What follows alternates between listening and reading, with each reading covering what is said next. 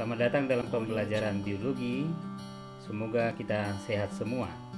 Nah, kali ini kita akan belajar tentang tingkatan organisasi kehidupan dan juga permasalahan yang dihadapi dalam tingkatan organisasi kehidupan. Baiklah, kita akan mulai. Tingkatan organisasi kehidupan. Tingkatan organisasi kehidupan mulai dari tingkatan atom. Nah, sebagai contoh ini adalah atom karbon, hidrogen, dan oksigen. Sulfur ya, fosfor. Nah, itu merupakan atom.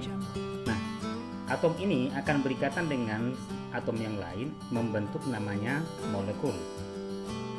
Sebagai contoh molekul ini adalah kelompok air, protein, karbohidrat, lemak, asam nukleat atau DNA itu merupakan contoh molekul. Nah, molekul ini akan mengisi organel. Ya. Lalu contoh organel ini apa saja? Organel ini contohnya adalah inti sel, mitokondria. Oke, dalam hal ini saya gambar ini adalah mitokondria yang digunakan untuk respirasi atau oksidasi zat. Organel sel ini bisa kita temukan di dalam sitoplasma yang terdapat di dalam sel.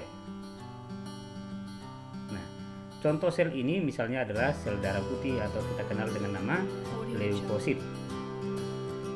Oke, ada lagi sel epitel, sel saraf, eritrosit. Nah, itu contoh-contoh daripada sel. Kumpulan sel memiliki bentuk dan fungsi yang sama disebutlah jaringan. Jadi, kumpulan beberapa sel memiliki bentuk dan fungsi yang sama disebutlah jaringan. Contoh, jaringan tulang atau jaringan ikat, jaringan epitel, jaringan epidermis, ya. Oke, itu contoh daripada jaringan. Kumpulan daripada jaringan ini bekerja sama melakukan satu fungsi membentuk namanya organ. Sebagai contoh adalah organ tulang, organ mata, organ telinga, jantung, itu adalah organ-organ dalam tubuh kita. Lalu kumpulan beberapa organ bekerja sama melakukan satu fungsi disebutlah namanya sistem organ. Sebagai contoh adalah sistem gerak yang disusun oleh tulang dan otot. Ada lagi sistem pernapasan. Ya. Nah, Kemudian sistem organ ini ditemukan pada organisme atau kita kenal dengan individu. Nah, contohnya adalah rusa. Lalu organisme atau individu ini yang berkumpul dalam habitat dan waktu yang sama disebutlah populasi. Jadi populasi adalah kumpulan organisme yang satu spesies dalam habitat dan waktu yang sama. Nah, jadi di sini ada rusa jantan dan rusa betina ya, itu sudah termasuk ke dalam populasi rusa. Nah, kemudian populasi ini akan membentuk namanya komunitas. Oke. Baik. Lalu komunitas ini akan membentuk ekosistem.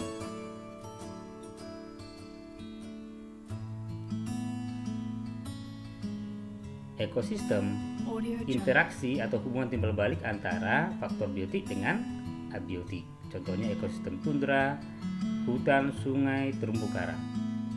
Lalu kumpulan beberapa ekosistem ini membentuk namanya bioma. Bioma merupakan dataran luas di permukaan bumi dengan ciri vegetasi tertentu.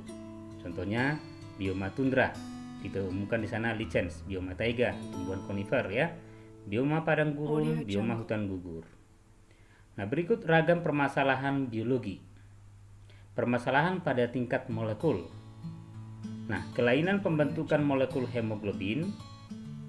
Iya, nah, ini kita bisa melihat ada hemoglobin di susun atas hemi, besi, dan protein globulin ya. Nah, Kelainan pembentukan molekul hemoglobin mengakibatkan masalah anemia dan thalassemia. Kemudian identifikasi coronavirus dengan metode PCR atau polymerase chain reaction untuk mendeteksi DNA virus dalam sampel. Permasalahan pada tingkat sel. Sel darah merah pecah saat diinfeksi Plasmodium SP. Nah, ini permasalahan. Kemudian biologi pada tingkat jaringan. Osteoporosis adalah penyakit kekurangan kalsium yang mengisi jaringan tulang. Nah, ini kemudian permasalahan tingkat organ. Contoh miopi atau rabun dekat. Ya. Jadi ini rabun dekat. Kemudian permasalahan tingkat sistem organ.